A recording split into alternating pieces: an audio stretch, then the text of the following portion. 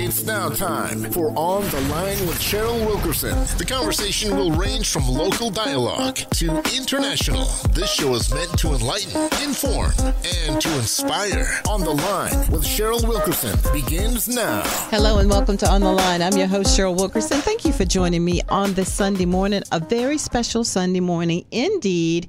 And it is Father's Day. Happy Father's Day to all the fathers out there. We love and appreciate you so much. This is the thing about Father's Day. Father's Day, they always say they don't get the love that they get on Mother's Day. I don't understand that because everything lately has been Father's Day. Father's Day began in the United States in the early early 20th century. It was to complement Mother's Day in celebrating fathers, fathering, and fatherhood. So it all started in Spokane, Washington. Mm. So today we got a little round table going on today with some fathers, grandfathers, and fathers that have been put in unique positions. So we welcome to the program DJB, my co-host in the morning. Check us every morning. 6 to 10, the Fresh Start Morning Show. Thank you, B. You're welcome. I love that plug. All right. It wasn't shameless at all. Not at all. No shame in my game. Also, everybody knows him. DJ Heart Attack. The legend. The legend and the 757. Do I even do your real name? Do people even real your real, name? You say the real do name. people know that? I, a lot of people don't, but you Yeah, can say we, the real we're going to stay with DJ Heart Attack Okay. because everybody knows that. Okay. Well, well business wise, go ahead and say the real name. Okay, Michael Maison. Yes. So he is here at the radio station in a leadership capacity as well. So it is Father's Day. First thing I want to say to the both of you is Happy Father's Day. Thank you. Thank you. Okay, so let's get started with you, DJ Heart Attack. You are a father in a, you're a grandfather in a unique way, Yes. And that is just as important as fathers that come to us traditionally.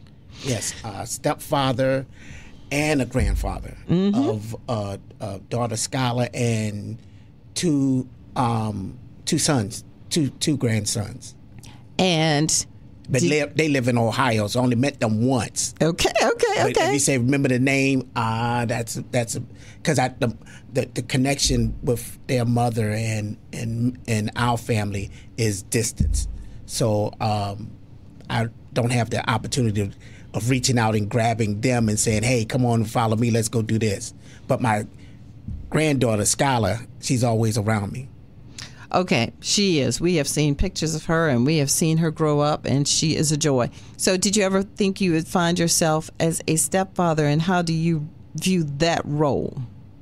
Is that like a father, or are there differences? father. Uh, I think life, you never know how life is going to turn out for you. You just live, you live in your life, and then when you find that right one, that person that you really care about, and then all of a sudden you see that there is family there already, you just accept it. I I turned and accepted, you know, uh, her son and her two daughters, and then the middle the uh, middle daughter, um, Ariel had had Skylar, so now that came into play. I don't even know if I like the word step. DJB, you Nah, I don't like that word. tell us about your family. Uh, so between my wife and I, there's 6 So we a blended family. I had kids, she has kids, but we all refer to they're our kids. We treat, treat them, we treat them all the same. And I have five grandkids, and I don't. We never use that word step. You know, on either side, it's just you know it's our family. So I'm I dad don't- and we pops. don't we don't use that word You know what I either. mean? It's just that it you It's know what it is so people legally. know how Yeah. it's you know for me to say how it is, but but overall when they come to me, I always say you know pop right, right, Pop. yeah. Yeah. pop attack. So- you know great words and stuff that they use at me, and I'm like yo come on let's go go let's go do this. So, so step is out. Is bonus okay? I see a lot of people using that. Do we? Yeah, it's a bonus because clearly somebody's missing. In most cases, which is sad to say. Mm-hmm. So, and it's nothing to step up and fill that role as a father. Mm-hmm, mm-hmm. Um, you know, and even if the other party is there as well, it's a it's a bonus. It's a bonus. It's a bonus. You know what I mean? Um, I was blessed to have my parents. They're still together. They 52, 53. Um, years in marriage. I'm glad you brought that up, and I just want to tag team you on that. That Mm-hmm. exists because I met a couple the other day, married 66 years. So I don't like for people to say it doesn't exist It because exists. your parents, and- my yeah. parents, my Mhm. uncles and uncles, my grandparents, my great grandparents, which I had the honor to meet, they were all together. So I came from that family structure, and um, of staying together. You Mm-hmm. know what I mean? As far as relationships and marriages, and it's it's beautiful. It is. It is. It is. It- it's beautiful Mm-hmm. and just uh but you use that word bonus i've never had you know a chance to have another parent Mm-hmm. you know what i mean i didn't want to or need it but i'm just saying like that seems like a bonus to me More people to love you. yeah Yeah. you know what i mean holiday season you got extra Okay, so why does Russell Wilson get so much crap because he has stepped in as a bonus dad to his wife's children? I don't know. What in the because celebrity I've done world? the yeah, is that's that? weird. Yeah. It's weird because uh, you know what? I guarantee you, the people that he's getting backlash from, it's it wasn't in their situation probably because you know I've stepped in and I enjoy it, so I see the joy in it. I don't understand why somebody would frown upon that Mm-hmm. at all. If you, you know, what I mean, of people, there's people that have adopted. There's people that have, you know, everybody has God kids, right? And the purpose of that is if something happens to those parents, you Correct. take responsibility. Correct. What's the difference? Correct. If, if you're in that situation, like you're you're Correct. now the parent, you're now nurturing, you're now raising, you're now taking care of, you know, and that's what a parent is. Just because you had a kid, and that don't make you, uh, what is it? That doesn't make you a a dad. You legally, Right, right. I I can't see get where the you're going. terminology. You know what I'm saying? Just because you had kids and you're not taking care of your kids, that doesn't make you a father. Right. You feel the same way? Yeah, yeah, because I got a lot of god kids, mm-hmm.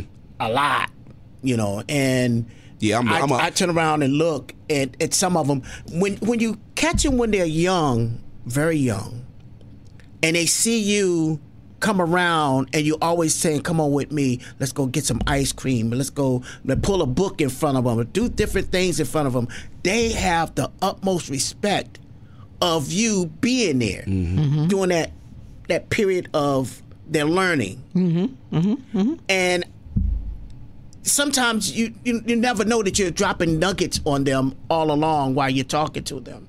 You know, watch, hold on to your money, uh, put this away, uh, read this book, get more knowledge on this. I don't want you hanging out in the streets. Um, this isn't good for you. Those different things that you may just drop those nuggets on them, and you turn around and look at them when they get older, and you see what they're doing, and you go like, wow. Okay, here's a question for both of you. Mm-hmm. Does society value fathers? So when I said at the beginning of the show, it's always the fathers say, oh, Father's Day isn't celebrated the way Mother's Day is. All we get are ties and socks and underwear. We're not respected the same way. Is that true? Um, And if so, why? I think it's a it's a it's a society thing. Being brought up as the mother being the nurturer, the father being the mm-hmm. provider. Mm-hmm. So the the provider is providing, and that's just what what happens. The mm-hmm. mother is nurturing. So yeah, I think the the mother's doing more work as far as doing work. yeah. Your job is to go out and to cover the family. You know, a male is their job to go cover the family. When they turn around and look at, like, I think it's the, like the gifts. They think, oh, I suppose to get a new suit and and this and this, and the and the parents said, but you got everything. What else do you want? So they go and get you a tie, mm-hmm. saying mm-hmm. at least a nice tie to have on. Man, bring Or- those ties. Bring those know, socks. I love them. I'm I'm the same. You get ties, you get socks of your grandchildren, right? Yeah, Yo, okay. Bring me the mm-hmm. socks. Yeah. But I mm-hmm. think society has made it look that way. But I think, I mean, in reality, you know, there's like unwritten rules in life, I guess, mm-hmm. and that's. I I personally, as a father, think the mother works more and deserves more recognition. So that's probably Yeah.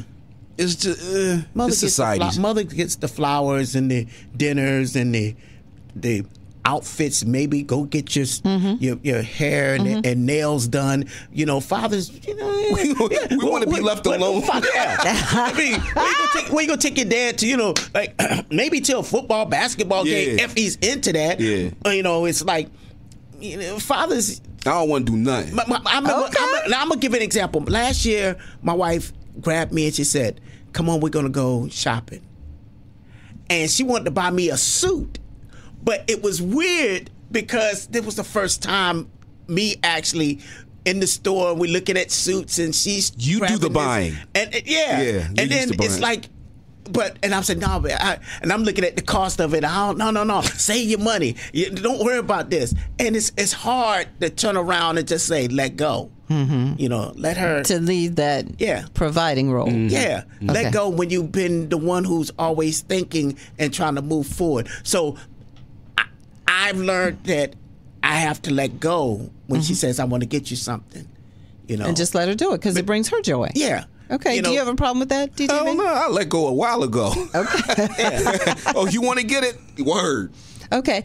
What do you do, or how do you stop your children and grandchildren from trying to divide you and your wife? So, uh, Mom, may I have this last piece of candy? No, you may not, Dad. Mm-hmm. This last piece of candy, may I have it, please? Well, we already established don't do that. Don't go to the other party. If no means no. And if you're going over there, you're going to get in trouble again for doing that. Right. so, who, whatever parent made that decision, the other parent is going to, you know, is going to follow. Through. But that's something you talked about in yeah, advance, huh? yeah, yeah. Okay. We said because we we knew that happened. You know, We did it. yeah. I look. I, I try to make life as easy as possible. So all them things I did to annoy my parents, I tried to set in stone, so my kids wouldn't do it to annoy me. you know what I mean? So It's Father's Day. I'm talking to DJ Heart Attack, DJ B, and we're discussing being a father because I'm not a father, so I don't know what it's like. So, what's the hardest part about being a father? Anybody jump in there? The, He hard, said, the "Mm." hardest part for me is watching my granddaughter in pain or my kids in pain. Mm-hmm. You know, that's hard. You know, I, I Because you want to take the pain? Mm-hmm. I feel like I want to hold on. I, I want that. Give it to me Mm-hmm. to hold on to that pain. You know, uh, uh, the, uh, But falling do you down. believe that they have to go through the pain? I yes, believe they that, do yeah. have to go through the pain. Yeah. Why? But you got to learn lessons. when you, oh, you fall and scratch your knees, I can't scratch my knees after you done fail. But but isn't there a lesson that Yeah. How about not life? to fall and Don't- scratch yeah, your knee right. again. Yeah. Right. And life. So I think a lot of times we want to take things off. Our, we want life better for our kids Yeah. than we had. Yeah. Which is admirable. But we have taken it too far and we have messed these children up. Mm-hmm. And then when we are no longer around, they fall apart because they're not tough enough because we didn't teach them how to be tough. They never had that situation to be in. This participation award era, I can't stand What it. is a, that? And I'm going to get cream for this one, but these early graduations, you graduate at the 12th grade. you have worked hard all those years. That is a graduation. Participation trophies? For ridiculous, what? Ridiculous. And what happens is, so I'm. It's just like with anything you do for a living. If you skip a step, right, and then something happens, you don't know how to fix what happened because you skip steps. You know what I'm saying? If Mm-hmm. you have these growing pains, then you learn how to fix an issue if you run into something. Right. And you know, it's just like social media. You only see the results. You don't see the work ethic putting in. So you're working towards the result instead of working to be better and figuring out, oh, I got here because I was doing it this way. Oh, something just happened. How can I fix that? Well, this happened before. I know what to do to fix it. Or at the same time, you know how to prevent from something happening because you was learning a process through the whole thing. So with with you know with the kids growing up, you gotta. I, I'm with I'm with you. Uh, heart attack. With you know, you want to take the if if my kids is going through something in life, I would take. You know, I would love to take that burden off of them, but sometimes they have to. You know, have- they have they to- have to go through it. Yeah. You know what I mean? Because remember, they're you know, they're going to be parents if they're not parents already. So how are they going to teach that, you know, do the same thing we're doing. Yeah, mm-hmm. it's like me telling Scarlett, "Don't run in the kitchen. Don't run in the kitchen. Don't run it. Don't run in the kitchen." And she still take off like a hundred and fifty, and that that floor isn't forgiving. That floor is like, "Come on, I'm waiting on you," because the floor ain't gonna feel it, but you feel it in the end. And then all of a sudden, when she's crying, and it's like, "Oh, oh."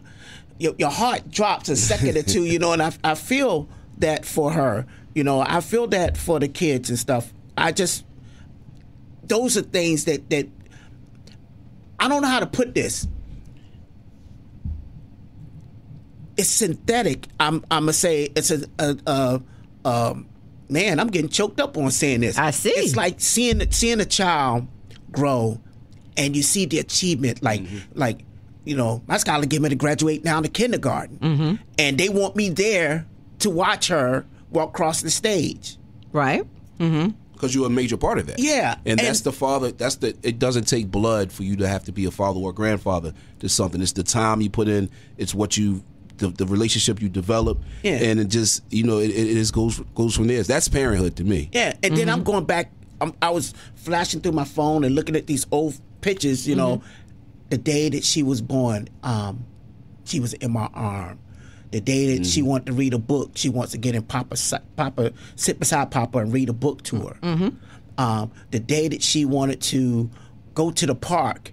And we tried to, you know, she wanted to get on the swings and the slide and all that great stuff. And it was just too many kids out out the park, and she got confused. Everyone because because she was born during the time of COVID. Oh, okay. So Okay, she didn't have, the, the- you know, the, the, you could go outside and meet people. She was like in the house for almost two years, Mm-hmm. and so now when she's out in front of other kids. And they are playing, and, and and you know you got some daredevil kids. They'll they'll go up to the top of the swing and and, and go down, no problem. With her, it's more so like mm, she'll climb up there, but now I'm nervous to go to go down the slide, so I got to get on that Right? and then go down and put her with me and ride down with her to get her calm. So it's it's fun. Okay. Let me let me ask you this. So Naomi Campbell recently was talking about the fact that uh, she had two children by way of surrogate, and somebody she she said something that I think is so idiotic to the fact that the she'll be okay, the children will be okay because she was raised by a single mother. So, you know, it's all right that there's no father there. That is the most idiot. How how crazy do you saying sound saying a child doesn't need a father? How idiotic does that sound? when you plan not to, you know, what I mean, when you say something like that, uh, you mean to tell me you really honestly believe you don't want help? You don't want a father figure? And it's not about house? you. Yeah, It's about about them kids. What a child is supposed to have, what a child deserves, Yep. the best. They deserve to come into the best scenario that they can. They didn't ask to be here. That's the first thing. Right. and you're going to sit there and tell me a whole man doesn't count? Yeah. My my thing is is that when I look at the situation that I'm in, first thing I said, she is not going to be short, or he is not going to be short of anything. Mm-hmm. If I could, if the lint in my pocket is gold to them, they got it. Right? And yeah, sometimes they, you know, kids gonna go for the gusto, you know. Nah, right, and, right. But at the same time, you saying no, you saying I got you, you got them. Mm-hmm.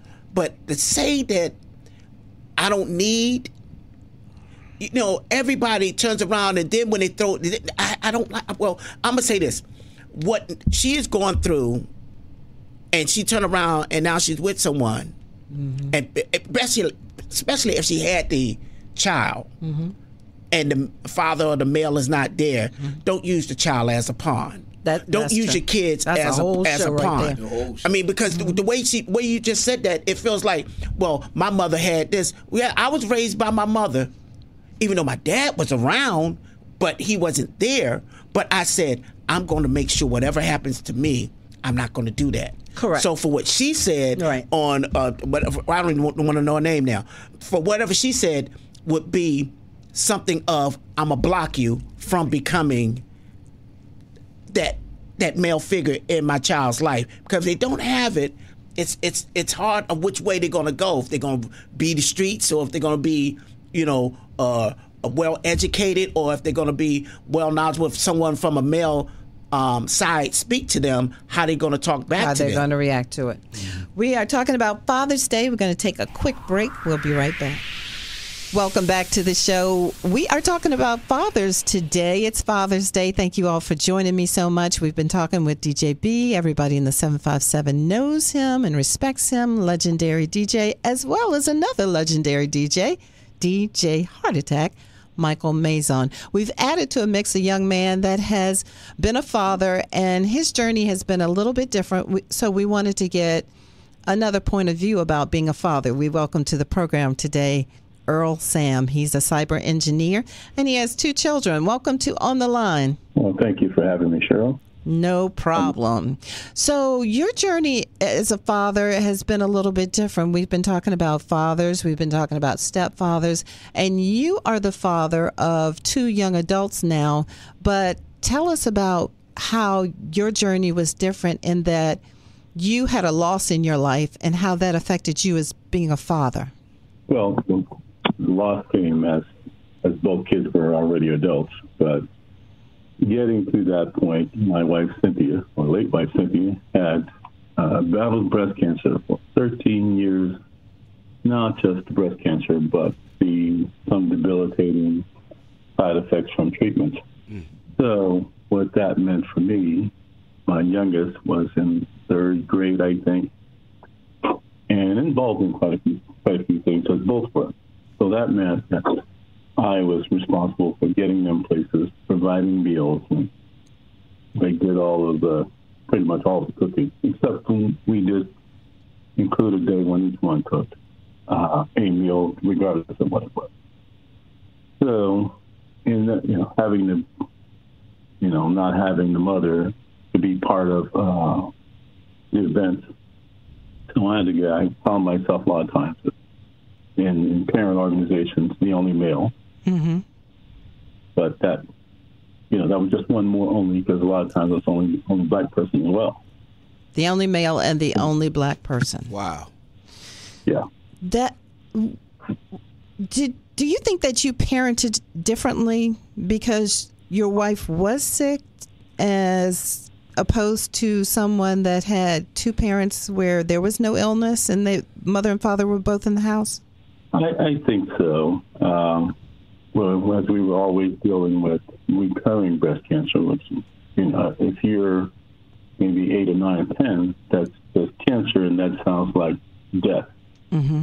So it had- to be that they could always express their, their their concerns or whatever they were feeling to me. So, uh, or their peers. So we always had an open, at least at least I tried to always have an you know open line of communication Mm-hmm. where they could say anything they wanted or express even disagree with me as long as it, it was respectful. Mm-hmm. Okay. And I think that carried over to today as they're both adults now, Mm-hmm. at least one one with a kid of their own. Uh, that you know we still can have that, still have an open relationship, and they can say anything they like as long as it's, it's respectful. As that that seems pretty fair. That probably gave them a lot of relief because they knew that they could come to dad and they could say da da da da da da da. That's true. All right, so I have the three of you all here. What is some good advice that you heard from either your father or a father figure in your life that you think is so valuable that you'd like to share today? DJ B, I'll start with you. Um, well, just hearing this brother's story, um, you know, as a father, you never think about that part. That you know, if you have to step in for some reason, uh, and I, me, it would. I think it would naturally happen. I think I will naturally uh, stepped up because you, brother. I'm sure you naturally you you just it just kicked in. It was you know there's no book for this. There's no book about being a father. There's no blueprint. Correct. You know you just do it, and I applaud you for uh, stepping in and doing what you had to do for. I mean, for your family. I know it was a lot of sacrifices on your end. So happy Father's Day to you, Right. because we do do we do sacrifice. We're providers, but we sacrifice a lot to make sure everybody else is is right. You know, um, because we're strong. A lot we're strong and we can deal with without, but it's hard to f- have our family deal without. You know what I'm saying? So uh, hearing hearing that story, it just opened my eyes, and you know, I, I I know I would step up with anything that would happen. You would. for for my kids. I would anything for my kids. You know, I lose sleep for my kids. I work a lot for my kids. Mm-hmm. You know, it's nothing to just step in, and it, I think it's just immediate. So happy Father's Day to you, Heart Attack. Everything you've done for your kids with Skylar, your grandkids, and and you know with your with your kids as well. So you know, I'm proud of you guys. You have some advice that a father figure or your father has given you heart attack? I have advice from other um, members of uh, teachers. who Okay. always, always um, help me out. Um, be there. Be there. Mm-hmm. You know, it's it's it's a job, but you don't see it, and it's a it's a care that you don't feel. Mm-hmm. But be there. You just have to be there. And by that you mean what? They want they they need to get lunch for school. Mm-hmm. They need to go to school. They need to have someone sit there and help them with their math or reading or or anything that comes up.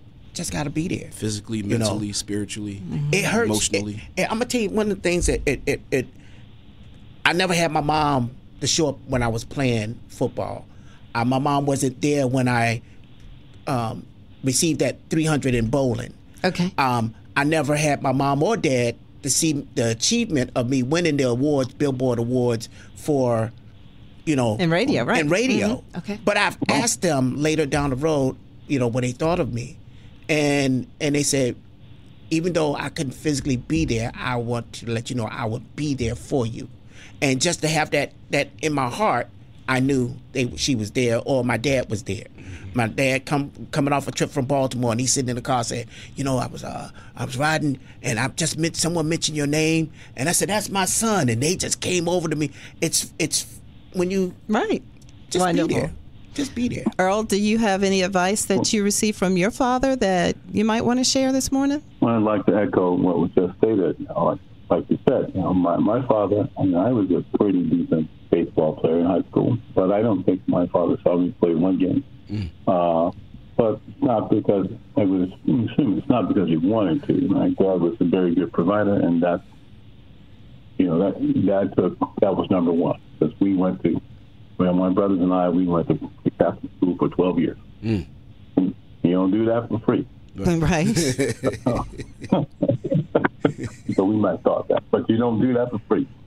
So, you know, in that regard, though, my, uh, what I took from my father, you always have to be sure that you can provide that for your kids. You know, from that, I also learned I had to figure out a way to do to do both, to be to provide and also make time for the, things that they were involved in, to be there. So that it would say, I guess, an, un, an unstated uh, lesson. I, I think my brother said it echoed the same thing, without you know, without without me asking him. He said the same thing. Wow. So, DJ B, DJ Heart Attack, aka Mike Maison, and Mr. Earl Sam, I want to thank you all for joining my program today. I want to thank you for a great discussion, and I hope that there are fathers out there that realize that I, for one, and plenty other ladies listening, appreciate you all and love you all and think the world of you all. And thank you all for being the men that you are. Oh, thank you. Happy Father's Day to all the fathers. That's right. Yeah, thank you. All right. right. All right, you all. We will do this again another time. I'm Cheryl Wilkerson. Thank you so much for joining me on the line. And as always, behold the green and gold.